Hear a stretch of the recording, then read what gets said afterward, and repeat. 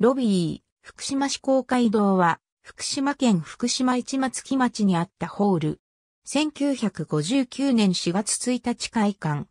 鉄筋コンクリート造り3階建ての建物。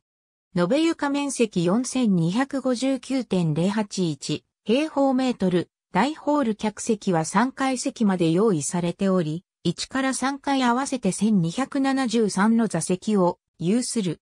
隣接して南側には2階渡り、廊下でつながれた福島市立図書館、東隣には福島市中央学習センターがある。北隣は福島地方気象台がある。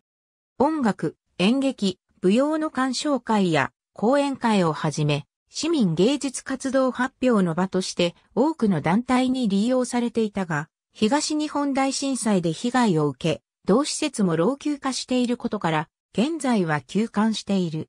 市は取り壊しはしないとしている。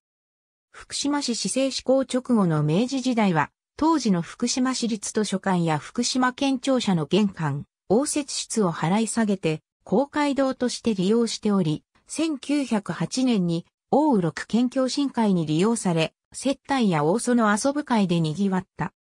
1917年5月には、大正天皇御大典記念として、木造3階建ての公会堂が建設された。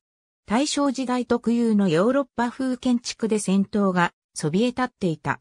JR 東日本、阿武隈急行、福島交通福島駅より 1.9km。福島交通バス、桃林循環1コースに乗車、新居浜公園バス停下車、徒歩で約5分。